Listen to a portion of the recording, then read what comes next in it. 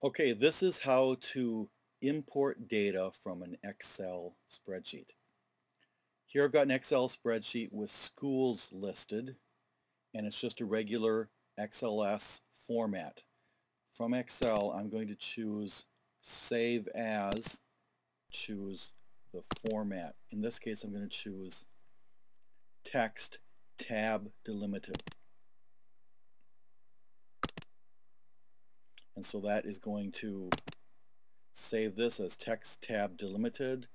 It's giving me a warning. Just choose yes and everything will get exported. So now you've got your data in, it ends with a TXT format. All right, so now we're done with Excel.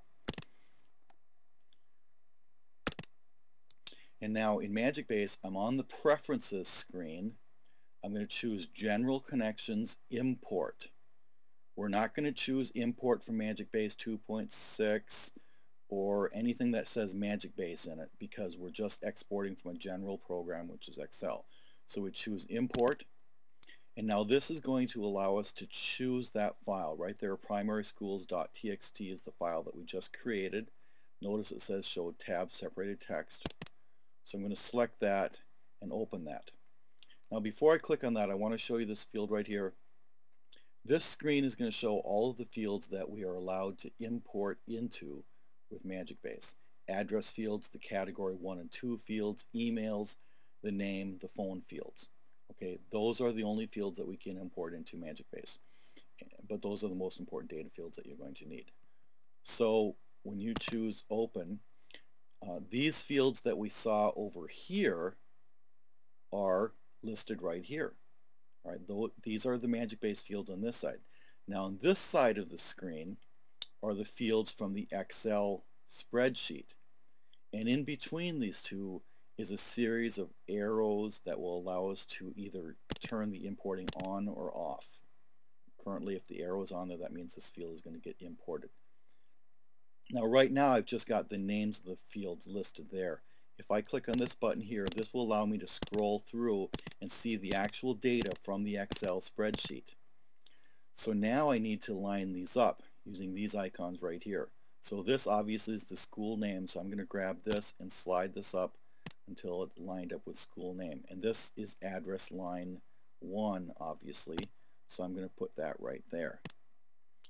Now, I don't know what address line 2 is, but this field right here is the city and the state. If I scroll through here, you can see I've got different cities on there.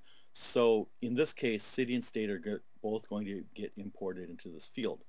We don't have a choice because they were saved in Excel as city and state field. That's not a problem. By the way, this is a, a state in Canada, a province in Canada. That's why uh, you may not recognize a state called NS, which is Nova Scotia. Now, we need to line up the email field so I'm going to take email 1 and line it up right there. Obviously that is the email field. And now I need to line up the phone field. Scroll down here. Here's phone 1 and I'm going to put this one as phone 2. Now notice that it automatically turned those fields off. You need to make sure that the arrows are turned on to import those. Now we've got some other miscellaneous data fields like these are numbers here which could be the number of students in here if you want to save that data, you can put that into category 2 field and the notes field. I'm going to slide this one up to notes. So these numbers right here are going to get imported into notes, whatever they are. Maybe the number of students. And let's see. Now I've got another couple of fields here. PR, that would stand for primary. Now I want to save that as a category 1 field, which is an unnamed, uh, it's just a miscellaneous field. Now this obviously is the postal code so I'm going to find zip and drag that up there until we get the postal code lined up right there. So that's lined up. We've got phone fields lined up. So now I can just scroll through here and make sure that all of these addresses, the cities, the zip codes, the phone fields are all lined up. Okay? And now when I click on import, then they are all going to get imported. It says 304 records are going to get imported. Okay. Now, the only information you're going to get that it's that something is happening is is by the little blinking cursor. You're just going to have to wait for the cursor to finish blinking and that will tell you that everything has been imported. Okay, now MagicBase has imported 304 new customers. Now if I go to my customers screen, I can just browse through, see all the customers, and it looks like the data is all correct in these fields. Okay, you see we've got the address line. Um, numbers are appearing in address 2, but that's the way that we imported it.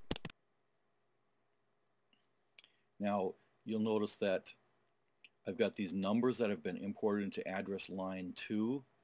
Now I don't really want those numbers to appear there, but what I can do is on the label button then, there's the number 99 right now, I can just click on this button and turn that off. So I can still have the data as part of the address field if I want it, but it won't actually appear anywhere on the mailing labels or on the envelopes. Here are those category fields uh, on this screen they're called list 1 and list 2 but it shows whether it's primary and it, it may show the starting grade right here. And you can see we've got the email address lined up right there.